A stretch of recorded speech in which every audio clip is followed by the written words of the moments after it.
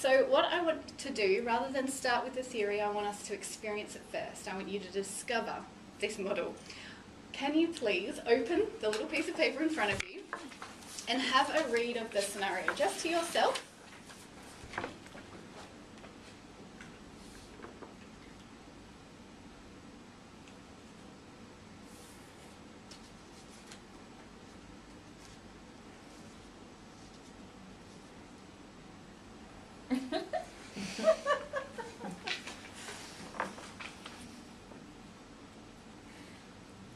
Now, as you're reading, like put yourself in that situation, imagine yourself there.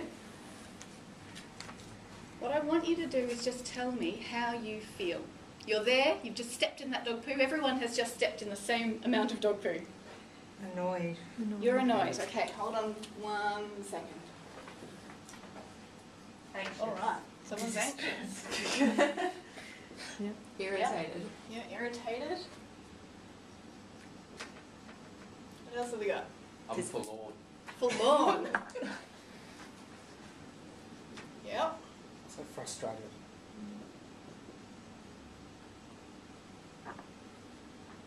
Anything else?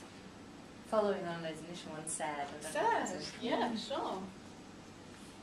And a bit angry, just like oh, Angry? Yeah. There's another thing to deal with. yeah. It's a fantastic mix. And what's interesting to me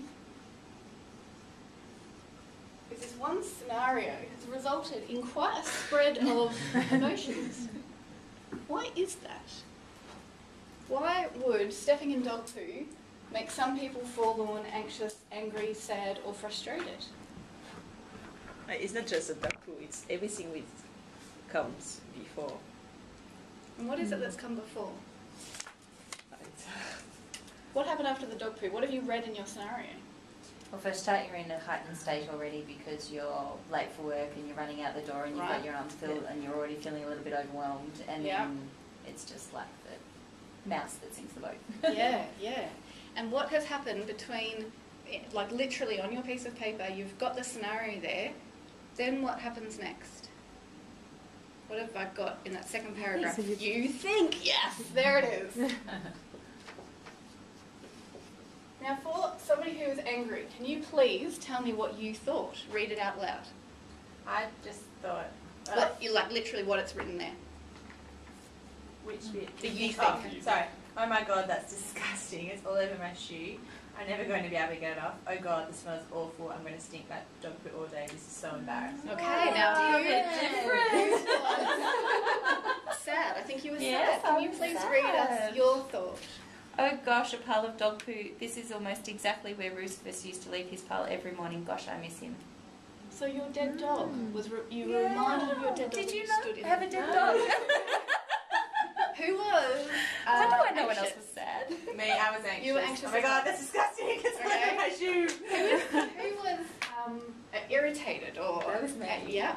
Oh my god, it's a bloody neighbour's dog again. How many times have I told them to fix the fence so their dog can't get into the yard? Dog owners are so irresponsible. Wow. So we had different thoughts, right? And it was the different thoughts about this scenario that actually led you to either feel sad or irritated or angry. You might have had a mix. It's absolutely okay. It was not the scenario on its own. It was actually how we interpret the scenario. And that is exactly what Beck told us when he was sort of thinking about cognitive therapy. This is actually the model right here. We have a situation. In its simplest form, we have a situation, we have our thoughts, and we have our reactions. And for Beck, it's actually all about the way we think about a situation that actually leads to the reactions.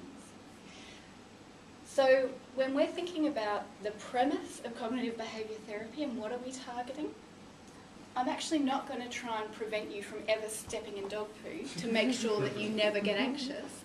What I'm going to, to think about with you is actually how do we catch what you thought and what impact did that have on how you feel?